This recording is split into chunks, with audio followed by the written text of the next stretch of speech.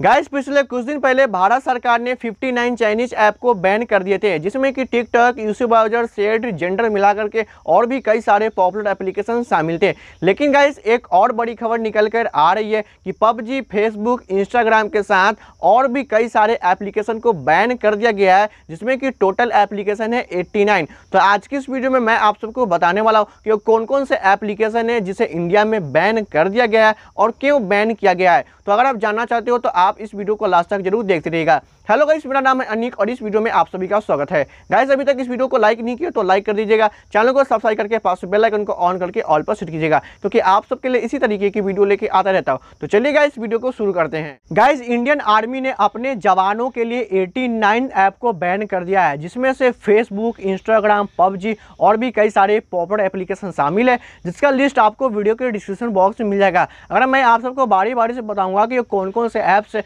तो वीडियो बहुत ज़्यादा लंबा हो जाएगा तो जिसके चलते आप वीडियो के डिस्क्रिप्शन बॉक्स में जाकर के चेक कर सकते हो कि कौन कौन से एप्लीकेशन शामिल है, जिसे इंडियन आर्मी ने बैन कर दिया है। अब गाइज़ मैं आपको बताता हूँ कि इंडियन आर्मी ने किस लिए इन सारे ऐप को बैन किए हैं। अब गाइज़ जैसे कि आप अभी देख सकते हो कि एलओसी और एल को लेकर के कितना ज़्यादा उस पर आतंक छाया हुआ है। मतलब कि दिन पर दिन कुछ ना कुछ नया बखेरा स्टार्ट हो ही जाता है।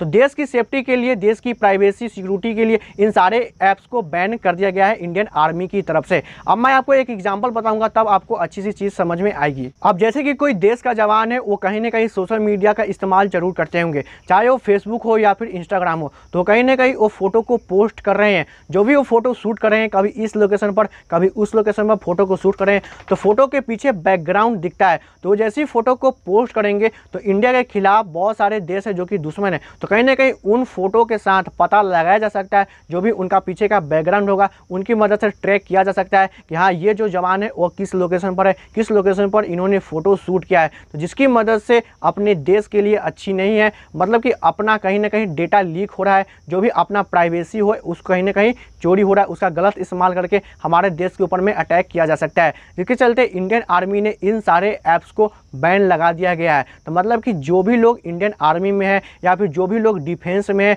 इन सारे ऐप को इस्तेमाल नहीं कर सकते।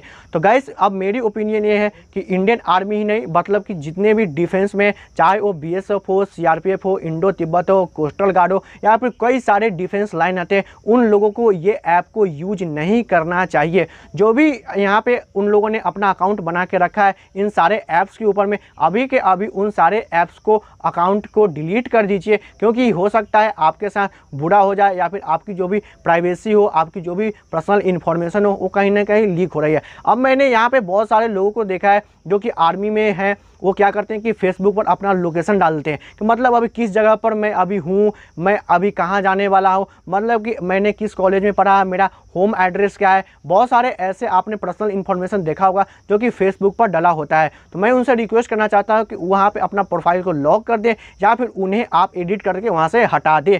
तो गैस उम्मीद करते हैं कि आप लोग अच्छी तरीके से समझ चुके होंगे कि किस लिए इंडियन आर्मी ने इन सारे ऐप को बैन कर दिए हैं। तो गाइज़ उम्मीद करते हैं कि आप सबको ये वीडियो पसंद आया। तो वीडियो को लाइक कीजिएगा चैनल को सब्सक्राइब करके, पास में बेल आइकन को ऑन करके ऑल पर सेट कीजिएगा। क्योंकि आप सबके लिए इसी तरीके की वीडियो लेके आता रहता हूँ। आपने दोस्तों के साथ शेयर कीजिएगा। कमेंट में अपना डाय सुझाव बताइएगा फ़िलहाल वीडियो में इतना है। मिलते हैं एक नए वीडियो में। तब तक के लिए जय हिंद, वंदे मातरम।